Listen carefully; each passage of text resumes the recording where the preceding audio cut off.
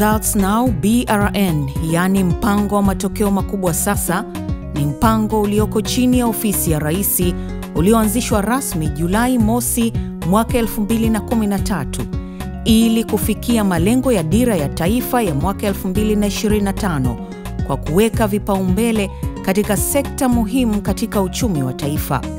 Sekta hizo ni pamoja na elimu, maji, kilimo, nishati na gesi, usafirishaji na ukusanyaji wa mapato. Mpango huu wa BRN una lengo la kuleta mabadiliko, motisha na nidhamu mpya katika kutekeleza miradi ya kipaumbele. Katika sekta ya nishati na gesi, mpango wa BRN umeanza kutekeleza mikakati itakayosaidia taifa kuondokana na adha ya uhaba wa umeme. Mradi wa bomba la gesi asili Mtwara unaotekelezwa na serikali ya Tanzania kupitia shirika la maendeleo ya petroli nchini TPDC ni nguzo muhimu katika kufikia malengo ya BRN. Ujenzi wa kiwanda tulianza rasmi mwezi wa tano mwaka huu 2014. Hapa tulipo eneo linaitwa Madimba ndiko tunakojenga kiwanda chetu cha kuchakata gesi, ila gesi yetu itatoka kwenye visima visima ambavyo viko eneo linaloitwa Msimbati. Gesi ikitoka kule itatolewa kwa bomba la nchi kumi na sita, bomba dogo mpaka kwenye kiwanda chetu. Ikifika kwenye kiwanda, gesi itachakatwa kupitia hatua moja baada nyingine, kama unavyoona mitambo yetu ilivyo. Kuna mtambo wa kuanzia pale ambako tunaita gesin. Gesi inaingia pale, inachakatwa. Ile gesi inayokusudiwa ina, inaenda kwenye mtambo mwingine, alafu na pia kuna mabaki yale ya gesi yanawekwa kwenye sehemu zingine ambazo tunaziita tunaziita ile ni condensates, zinawekwa kwenye, kwenye matenki ambayo tunasema ni condensate tanks.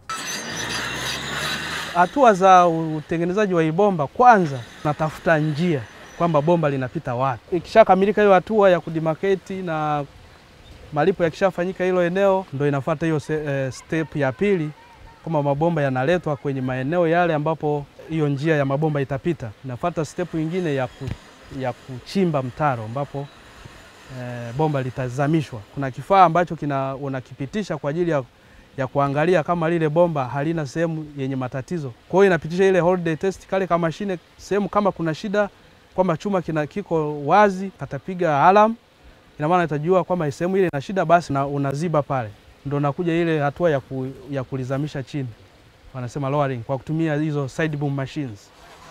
Likishakuwa lowered, ndo linakuja stage ya mwisho ya kufukia. Eneo hili linashughulika na upitishaji wa bomba chini ya mto Rufiji, ambao kazi kubwa ya hapa inayoendelea ni kutoboa chini ya ardhi. Bomba linapopitishwa chini ya ardhi, umbali wake ni karibia kilomita moja, kwa maana ya kwamba kuna umbali wa mita elfu moja na hamsini na mbili. Linapita chini ya mto, litakuwa natoka ng'ambo ya upande wa kusini kusini mwa mto Rufiji kuja kutokea upande wa kaskazini linalotoka kusini kwa, kwa, kwa, kwa maana ya Mtwara ambao lina ukubwa wa inchi 36 ndo ambao linakutana na jingine linalotoka Songosongo lenye inchi 24 ndo anaunganikia Somanga. Kwa hiyo linalotoka Somanga sasa kwenda mpaka Dar es Salaam Kinyerezi ni bomba ambalo lina ukubwa wa inchi 36. Mradi huu wa Kinyerezi ambao unazalisha umeme uh, kutokana na gesi inayotoka Mtwara unasimamiwa na shirika la umeme la TANESCO chini ya Wizara ya Nishati na Madini, lakini ndani ya mpango wa BRN matokeo makubwa sasa. Mradi huu ni kwa ajili ya kuongeza umeme. Mradi huu utakuwa na uwezo wa kuzalisha megawati 150 ambazo zitaingizwa katika gridi ya taifa na utakuwa na uwezo wa kuongeza umeme, kufikisha umeme kwa kila mwananchi bila kupata tatizo la kukatika katika, kwa sababu bado kuna Kinyerezi namba mbili, tatu, nne ambazo pia zitaongeza megawati nyingi kufikia megawati elfu moja mia sita ambazo ni nyingi sana kwa matumizi yetu ya Tanzania. Tutaweza ku, hata kupeleka nje ya nchi, kutakuwa na tatizo la kukatika katika tena. Takuwa radhi kuweka kwa sababu ni umeme mwingi wa kutosha.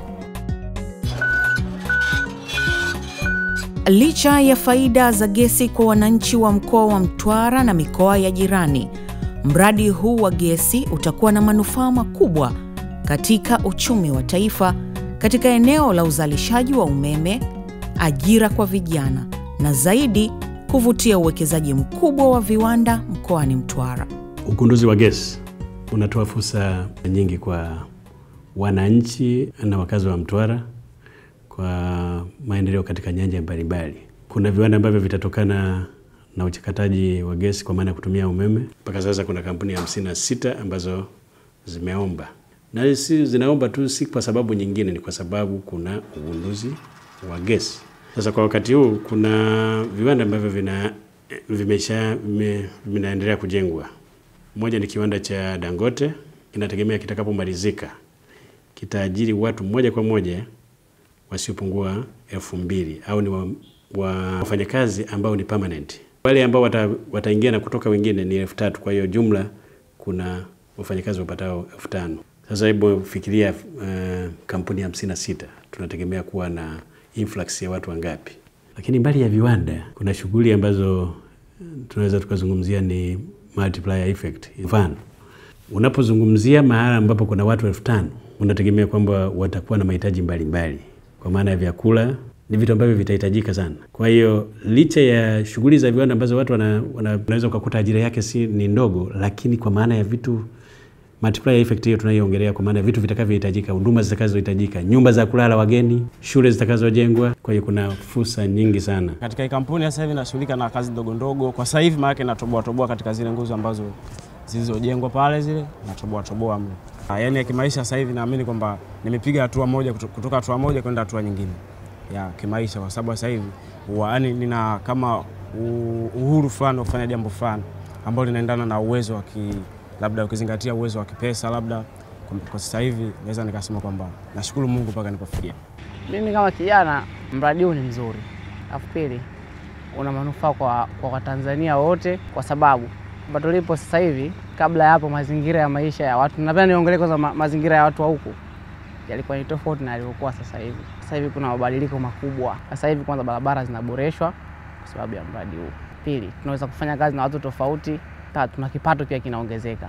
Yaani kijumla, nimeweza kujimiliki na kujibadilisha hali yangu fulani ya maisha kutoka kwenye hali ya mwanzo kupanda kwenye hali ambayo nayo sasa hivi. Mimi nimenufaika sana na mradi huu, hasa katika kunibadilisha kimaisha kwa kipato ninachokipata na maisha ninayoishi kwa sasa, tofauti na maisha ambayo nilikuwa naishi hapo awali, hasa kwa kufanya kazi na wageni. Hapa tunafanya kazi na Wachina, tunafanya kazi na Waingereza, wa Wamarekani watakuja, Waisraeli, Wafaransa wapo na mataifa mengine. Katika kijiji wanaonufaika ni wanakijiji wa eneo hilo husika, ila watakapokuwa wamekwisha, nafasi bado zipo, labda ndo tutengea vijiji jirani, au ajira inayotolewa inahitaji utaalamu ambao wataalamu wao hapo hawapo, watachukuliwa watu kutoka nje, lakini kwa utaratibu kijiji husika ndicho ambacho kinachonufaika na hizo ajira.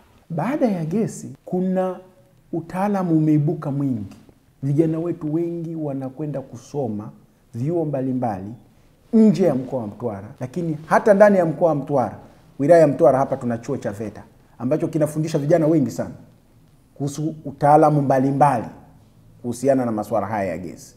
Kwa kweli mafunzo ni mazuri kutokana na mradi wa gesi ambao unaendelea Mtwara, kwa sababu kulingana na hali halisi ya mafunzo, mafunzo hayatufundishi tu kuajiriwa, lakini tuna uwezo wa kujiajiri pia, ya kwamba ukishatoka katika mafunzo una uwezo wa kujiajiri wewe kama wewe kutokana na yale mafunzo ambayo umeyapata. Kwa hiyo faida yake ni kubwa, kwamba ukishapata elimu, ajira yako ni kutegemeana na kile ambacho umekipata, na je, una uwezo nacho. Mabadiliko yapo kwa sababu vijana wengi wa Mtwara walikuwa yani wameharibika, wapo wapo tu wamekaa mitaani, hawana kazi za kufanya, uharibifu, wizi ulikuwa unatokea, lakini sasa hivi baada ya kuja makampuni, tunashukuru wametusaidia, wametuokoa jazi yetu ya vijana. Vijana wamekuja VETA, wengine hawajakuja VETA, ila walikuwa tu na ujuzi wao mtaani. Wale wamekuja wamechukua vijana wetu, wameenda kule, wamewapa elimu siku mbili tatu, wamekuwa wanaweza safety, wako poa. Kwa hiyo wamechukuliwa, sasa hivi wako kwenye ajira. Kwa hiyo wametupunguzia ile watu wahalifu wahalifu mtaani. Upatikanaji wa gesi katika Mtwara unatusaidia pia sisi ambao tunaishi Mtwara, kwa sababu mfano kama hapa ninavyosoma, ninavyotoka hapa nikienda nikikutana na kampuni ambazo zinahusika kwenye masuala ya kuunganisha mabomba kwenye gesi, sintoshindwa kufanya hivyo. Uwepo wa gesi kwa kiasi fulani imebadilisha maisha ya Mtwara, kwa sababu kwanza wanafunzi wenyewe wanajua wasipokuwa na elimu hawana access ya kufanya kazi zile zinahitaji utaalamu kwenye mashirika hayo. Kwa hiyo ni changamoto kwamba lazima wajifunze masomo ya sayansi kwa kiasi kikubwa, ili walao siku ya siku na wenyewe waajiliwe katika mashirika. Lakini kwa upande wa kuwezesha jamii, mashirika mengi yanatoa msaada. Kwa mfano sisi hapa tuna watu wafadhili wetu fulani ambao wanatusaidia. Kwa mfano wameweza kutujengea uwanja mzuri tu wa michezo hapo nyuma. Sasa hivi tumeona bandari Mtwara imepewa zawadi kadhaa au vifaa kadhaa vya michezo kupitia BG Tanzania. Lakini pia hata hawa wanatusaidia kwa vitabu na nini. Kwa hayo yote ni mashirika ya gesi ambayo yanaongeza ah, hamasa ya watu za taaluma ya kuongeza taaluma kuhakikisha kwamba ili waweze ku, ku, ku, kufanikiwa, maana yake jamii au wale watoto wao wanatakiwa wasome. Toka umeanza mradi huu wa gesi nimefanikiwa vizuri sana maisha yangu. Zamani nilianza na kilo kumi, sasa hivi ninapika kilo kumi na saba. Nimefanikiwa na nimepata kiwanja pamoja na bati, na ningali naendelea tena kupika, na mpaka sasa hivi naomba nizidi kuendelea na maisha yangu tena hapa hapa. Processing plant yetu itakapokamilika, kuna faida ambayo wananchi wa Mtwara wataipata, na kwa sasa faida mojawapo kubwa wataweza kufaidika kwa kupata maji safi na salama. Huu ni mradi mmoja mkubwa ambao utatekelezwa katika kijiji cha Madimba, na kwa sasa matenki yameshajengwa. Wananchi zaidi ya elfu mbili watafaidika kwa kupata maji safi na salama. Fidia aliyotupa kama kwa gesi ndio hiyo hiyo tuliyopata. Pata bati zangu nikajenga kuisha tayari, nakaa na wajukuu zangu na bwana. Tumefaidika kwa mambo haya, tunakunywa maji. Tumepata mradi wa maji wa kwanza kisimani, tumechota na kata.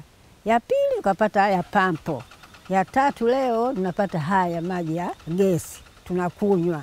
Kwa hiyo gesi imeleta mabadiliko makubwa kwa maisha ya watu, kwa maana ya kipato. Majumba mengi yamejengwa hapa, miundombinu mingi umeona hapa. Sasa kuna barabara nyingi za rami zinajengwa hapa, na wananchi nao wame, wamepata uelewa wa kuzalisha mazao mbalimbali ili wapate soko zaidi hapa hapa nchini. Kwa hiyo uchumi umeanza kupanda, lakini bado uchumi ule haujaenea. Kwa sababu gani? Kwa sababu zoezi lenyewe sindo linaanza. Kwa miaka miwili mitatu ijayo, uchumi huu utaenea kwa watu walio wengi.